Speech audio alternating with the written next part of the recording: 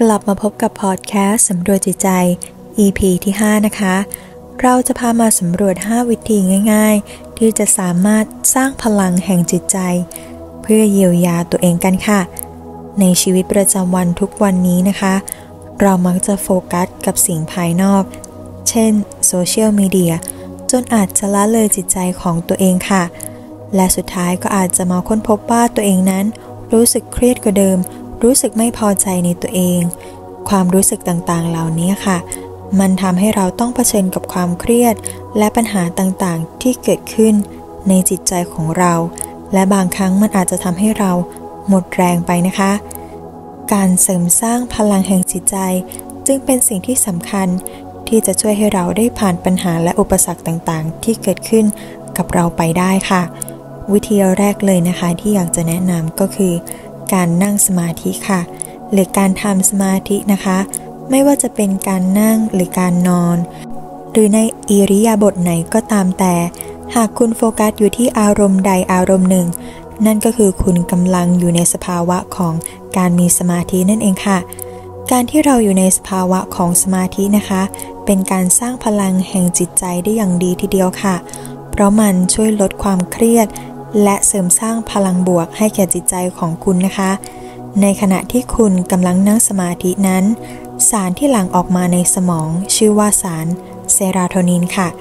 ซึ่งเป็นสารแห่งความสุขง่าย ๆ ที่เกิดจากการที่เรา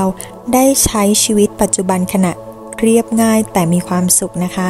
เช่น การที่เราเล่นกับสัตว์เลี้ยง การที่เรารดน้ำต้นไม้ ดูแลต้นไม้ รวมถึงการนั่งสมาธิด้วยค่ะ แต่เราจะบอกว่าการนั่งสมาธินั้น แยกออกจากการมีสตินะคะ เพราะถ้าหากเรานั่งสมาธิ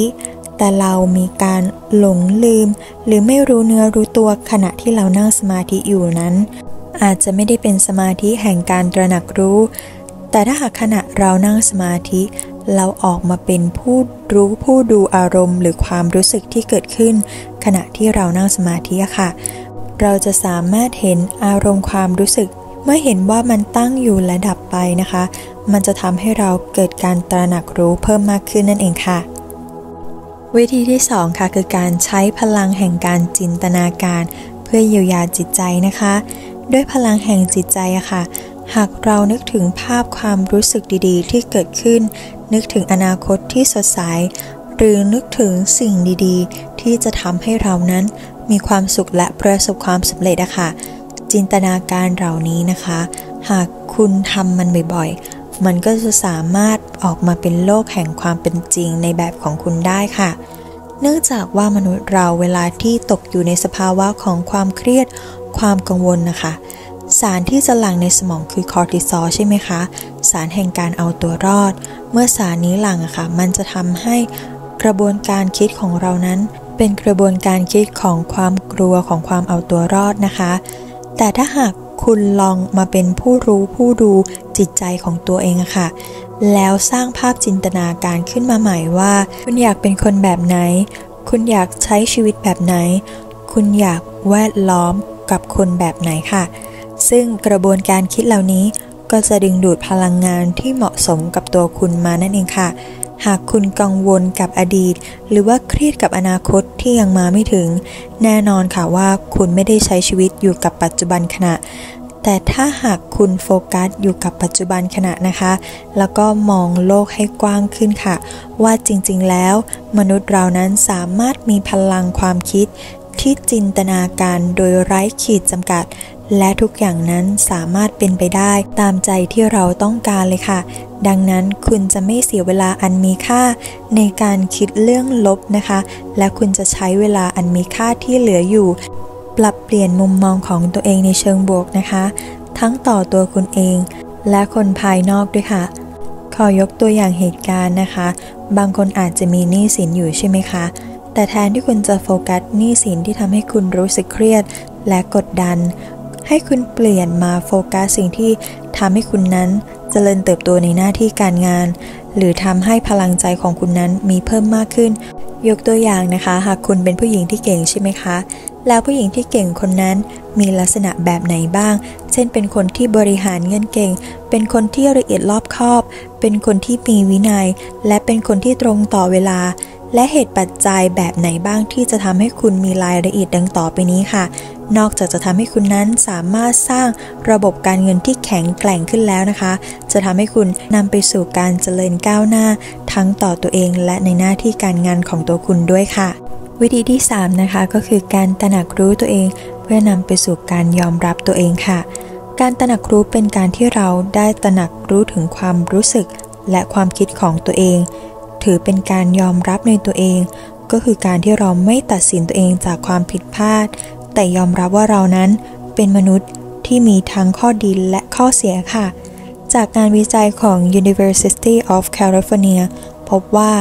การตระหนักรู้ช่วยลดความเครียดและเพิ่มความสุขในชีวิตของเราได้ค่ะ ความกล้าหาญในการเป็นตัวเอง ก็คือการยอมรับความไม่สมบูรณ์แบบของตัวเองค่ะ หากใครเป็น perfectionist นะคะ ที่อาจจะรู้สึกว่าไม่ได้เริ่มอะไรสักทีค่ะ หากเราได้เกิดการตั้งคำถามกับตัวเองนะคะ นั่นคือการที่คุณเริ่มตระหนักรู้กับตัวเอง เพื่อที่จะนำไปสู่การพัฒนาภายในของตัวเองนั่นเองค่ะ และการยอมรับในตัวเองมีความมั่นใจมากขึ้น และมีความสุขมากขึ้นค่ะข้อที่ 4 ก็คือการเขียนบันทึกหรือ journal ค่ะ ช่วยให้เราได้ปลดปล่อยอารมณ์และความรู้สึกที่คิดนั้นออกมา บางทีเราอาจจะปรึกษาใครไม่ได้นะคะ หรือมันอาจจะทำให้เราทุกข์ใจ ซึ่งจริงๆ แล้วการที่เราได้เขียน สิ่งที่เราคิดออกมาไม่ว่าจะเป็นแง่ลบ หรือแง่บวก สามารถทำให้เราได้มองเห็นมุมมองใหม่ๆ ในการแก้ปัญหาได้ดีอีกด้วยค่ะ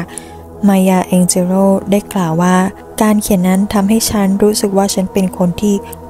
ควบคุมชีวิตของฉันได้ค่ะ ซึ่งบางครั้งนะคะ การที่เราคิดเราไม่ได้ออกมาเป็นผู้ดูความรู้สึกค่ะ เราอาจจะลืมไปด้วยซ้ำบางครั้ง แต่การที่เราจด journal การระบายความรู้สึกออกมาค่ะ บางครั้งตอนที่เราคิดเราไม่ได้เป็นผู้รู้จริงๆ เราเป็นคนคิด แต่เมื่อไหร่ที่เราเขียนออกมา เราจะเป็นผู้ดูความรู้สึกของตัวเองได้อย่างชัดเจนมากค่ะ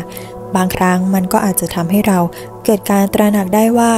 เอ๊ะ ฉันคิดแบบนี้หรอ ทำไมฉันคิดแบบนี้ ทำให้เราค้นหามุมมองใหม่ ๆ ที่อาจจะดีกับตัวเรามากขึ้นนะคะ สุดท้ายคือวิธีของการใช้ศิลปะในการแสดงออก และเยียวยาจิตใจค่ะ การวาดรูปการระบายสี หรือแสดงออกถึงผลงานศิลปะในรูปแบบต่างๆ ช่วยให้เราได้เหมือนปลดปล่อยอารมณ์และความรู้สึกที่เกิดขึ้นภายในจิตใจได้อย่างดีทีเดียวค่ะ งานวิจัยจาก American Art Therapy Association ระบุว่า ศิลปะบำบัดช่วยลดความเครียด และเพิ่มความรู้สึกผ่อนคลายให้กับเราได้อย่างดีเลยนะคะ หากเรามีความรู้สึกในเชิงลบเกิดขึ้นในจิตใจไม่ว่าจะเป็นความเครียด ความกดดัน การไม่รักตัวเอง เมื่อเราได้ใช้ศิลปะเป็นสื่อกลางในการแสดงออกอะค่ะ มันจะทำให้เราสามารถพัฒนาจิตใจของตัวเอง เป็นคนที่มองโลกได้กว้างขึ้นนะคะ เมื่อเราได้ใช้งานศิลปะในการระบาย ความรู้สึกเหล่านี้ เหมือนเราได้ออกมาเป็นผู้ดูและเข้าใจอารมณ์ของตัวเองได้ดียิ่งขึ้นค่ะ กระบวนการศิลปะบำบัด หรือศิลปะในการเยียวยาจิตใจอะค่ะ เราไม่จำเป็นต้องวาดรูปให้สวยเหมือนกับศิลปินนะคะ ยิ่งคนนั้นรู้สึกว่าตัวเองวาดรูปไม่สวย หรือไม่มั่นใจในการสร้างสารรค์ผลงานศิลปะของตัวเอง เพราะจริงๆ แล้วความไม่มั่นใจในเรื่องใดเรื่องหนึ่ง มันหมายถึงสิ่งนั้นอาจจะเป็นด้านมืดที่ซ่อนอยู่ในจิตใจของคุณก็ได้นะคะ เพราะฉะนั้นเมื่อไหร่ที่คุณเกิดอารมณ์ด้านลบขึ้นมาในจิตใจ รู้สึกเครียดกดดันตัวเองหรือด้อยค่าตัวเองอะค่ะ สิ่งที่อยากให้ลองทำนะคะ ก็คือการใช้ศิลปะในการเยียวยาตัวเองค่ะ เพราะบางคนไม่สามารถที่จะนั่งสมาธิได้จริงๆนะคะ ศิลปะก็เป็นอีกทางออกหนึ่งที่จะช่วยให้เรา สร้างสมาธิขึ้นภายในจิตใจของเราได้ค่ะ เมื่อเราอยู่ในภาวะ four state นะคะ หรือการที่เรามีสมาธิในขณะสร้างสารรค์ผลงานนั่นเองค่ะ การเสริมสร้างพลังของจิตใจเพื่อการเยียวยาตัวเองนั้น เป็นสิ่งที่สามารถทำได้ง่าย ๆ เช่น การทำสมาธิ ใช้ศิลปะบำบัดในการเยียวยาจิตใจ เพิ่มการตระหนักรู้นำไปสู่การยอมรับตัวเอง การใช้จินตนาการ รวมถึงการเขียนบันทึก ซึ่งวิธีเหล่านี้ค่ะ หากเราได้ฝึกฝน แล้วก็ลองทำเป็นประจำ เราจะพบว่าจริงๆ แล้วจิตใจของเรานั้น แข็งแกร่ง และพร้อมที่จะะเผชิญหน้ากับความท้าทายในชีวิตได้อย่างดียิ่งเลยล่ะค่ะ ดังนั้นการสร้างพลังของจิตใจ ก็เหมือนกับการที่เราดูแลสวนของตัวเอง เราต้องหมั่นรดน้ำใส่ปุ๋ยกำจัดวัชพืช เพื่อให้ดอกไม้ในสวนของเรา เติบโตอย่างงดงามนั่นเองค่ะ ใครฟังมาถึงตรงนี้นะคะ สนใจในการใช้ศิลปะบำบัดเพื่อเยียวยาจิตใจของตัวเอง สามารถทักเรามาได้ที่ Line แอดของช่องได้เลยนะคะ เนื่องจากว่าทางเรานั้น มีหนังสืออีบุ๊กภาพมันดาราสวยๆ ไว้ระบายสีฝึกสมาธิและเยียวยาจิตใจของตัวคุณด้วยค่ะ หากคลิปนี้มีเนื้อหาน่าสนใจ ช่วยกดไลค์กดแชร์กด Subscribe เพื่อเป็นกำลังใจให้ช่อง หรือส่งต่อความรู้ดีๆ แบบนี้ ให้เพื่อนๆหรือคนที่คุณรักก็ได้นะคะสำหรับวันนี้ สวัสดีค่ะ